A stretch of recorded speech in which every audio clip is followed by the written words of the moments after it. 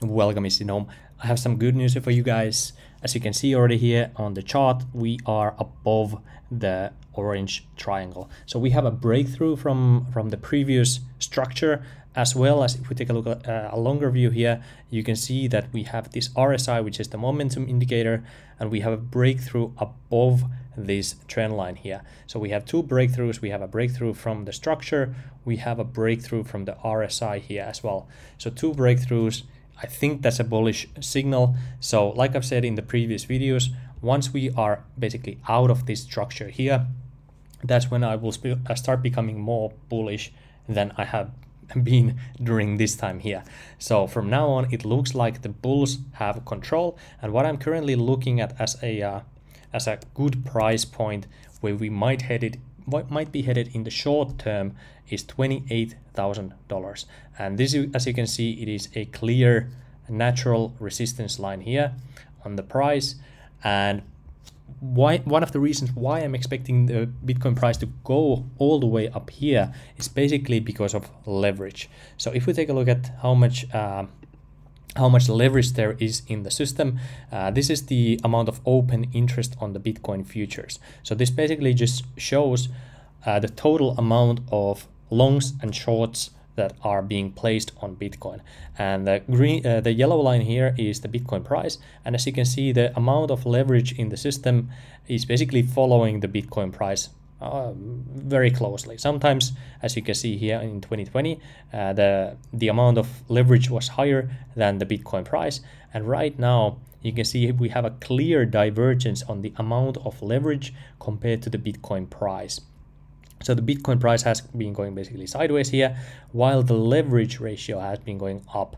And this is even crazier if we take a look at this chart here. Uh, this is the estimated leverage ratio. So this simply shows uh, how uh, the same chart that I just showed you uh, 30 seconds ago. So it shows the open interest, but it is divided by the amount of Bitcoin on exchange reserves. And because whales and people who have the long-term view for Bitcoin, uh, they uh, have been taking Bitcoin out of exchanges, uh, still buying even though we are in this bear market. The amount of uh, Bitcoin in the exchange reserves has gone be, uh, has been going even lower. So that's why the leverage ratio has been going so so crazy high. And eventually this will go down when Bitcoin starts trending up or down. Currently it is trending up and that's why the leverage ratio will go down because people will get liquidated as the price moves higher or the shorts will get liquidated. And here uh, just to basically re-emphasize what i just showed you uh, is the amount of bitcoin on the exchange reserves. So as you can see bitcoin is heavily heavily being taken out of the exchanges. So this is a good signal that the bitcoin is entering uh, or going into the strong hands for the future. So this is good for the future pri- uh, price potential of Bitcoin when uh, it's going out of the exchanges. So uh, that's what's going on there. Uh, this is just the first preview of what's going on what will happen in the in the in the short term so these are the short liquidations that just happened in the last 24 hours so as you can see there were 320 million dollars worth of short liquidations. And previously we had this many short liquidations here in 2021 of April. So this is a very good signal that we have a lot of short liquidations, but as you can see, we still have a lot of leverage in the system. So that's why I think it makes a lot of sense that because we have the signal, we have a clear signal that the uh, bulls are basically now in control so the people who have short positions, they are now sweating like, holy shit, is Bitcoin going up? I'm gonna get liquidated. So they will have to close their positions and they will get liquidated. And when that happens, uh, it's like a cascading situation that will just take the price higher. And I think 28k is when uh, people start placing more short positions because who would want to pl- place a short here right now when we have this confirmation signal? Uh, I, I don't believe too many people would be interested, at least with uh, big portions of their capital. So for that reason, I think the, the, what we see is a, a, like a bullish momentum, like a cascading liquidation situation for the shorts that get liquidated. And at 28k, because it's this natural resistance line, I think that the sentiment will change again. Uh, that uh, the people who have these long positions, they want to close off their positions, as well as the, the, the people who are looking to short Bitcoin because of the macro or because of this and that. Uh, they will come back into the market and we will see a pullback.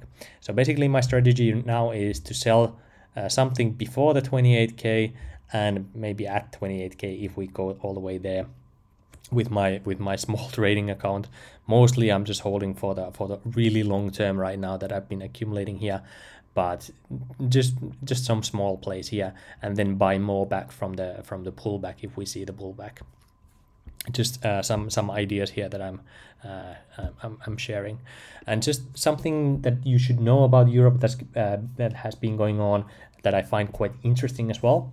Uh, that also comes back to the Bitcoin and crypto markets is the amount of natural gas in the EU storages. So the EU has filled basically all of its storages. So the target for this winter was 80%, now they are 93.8% full.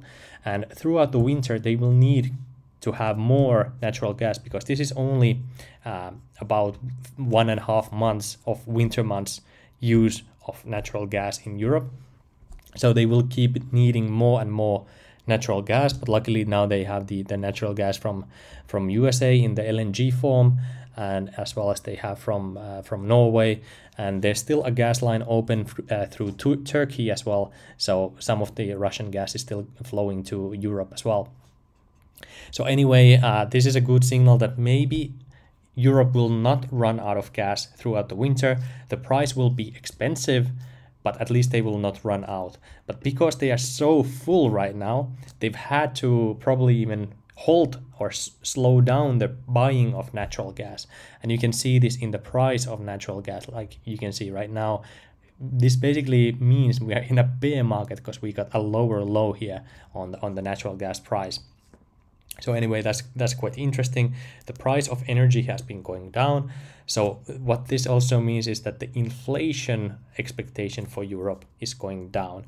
Uh, so that those are both uh, positive things for Europe, but in the long term, this also means uh, that there eventually will be a recession coming uh, or or close to it because uh, how Europe got this number is First of all, they did a lot of buying from everywhere they could to fill these storages, as well as they had to curb down the demand for, for natural gas. So they told people uh, don't go to shower for too long, lower your thermostat, uh, stop using electricity as much, as well as many of the, the European companies have actually lowered down their production uh, because they were expecting the, the demand to go down as well and for some companies they are not able to get uh, the the, uh, the the the resources the the ingredients to uh, the build stuff.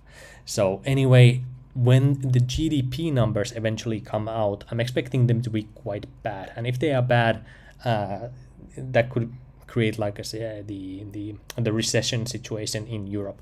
So for now, in the short term, I think people are expecting this to be a good thing because what it means is that the energy prices are going down. But depending how the winter will go, if it's gonna be too cold, then it's gonna be a big problem for Europe.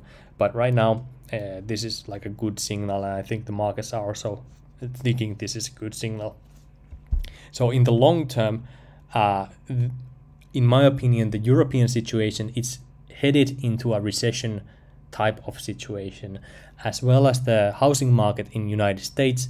It will most likely end up in some kind of a crash because the mortgage rates currently are like seven, more than seven percent. Uh, so, uh, of course, the housing prices have to come down because people cannot afford to pay the the interest rates for uh, expensive houses. So the house prices will have to come down. So when those markets go down, uh, I think that will have an impact on Bitcoin. But will it just be a local bottom, or will it just mean like a like a like we go to fifteen or fourteen thousand dollar Bitcoin. I don't know. Uh, to me, right now, it starts to look like it will just be like a local bottom. So we go higher, lower, then higher, and then we have this uh, big crash. And that could take us quite low here somewhere. Uh, I don't know where, but in the short term, I'm quite confident about at least this 28,000 and then a pullback. Uh, of course, these are just this is just speculation. Uh, obviously, it may not or it may happen, but I'm just uh, showing you my thinking, uh, how I think about the situation. And just looking at the, the crypto markets, basically everything is just following Bitcoin, about 7% up. Ethereum is very happy right now, 14% uh, up, but basically nothing is more or less than, than the 6%. Everything is basically on the green here. Uh, so just following Bitcoin or or Ethereum. That's basically the whole whole story for the whole crypto going forward, especially until the uh, the the retail com- uh, comes back. When we start seeing the the altcoins popping off, that's when I'm like, okay, the retail is now back. but right now we, we don't have we don't really see that. So this is currently a whales market still, but it's good to um, uh, keep an eye out what's what's going on here as well. Anyway, I think that's basically everything I had to say for this update. Consider subscribing to this channel, uh, like this video, and I will see you on the next one.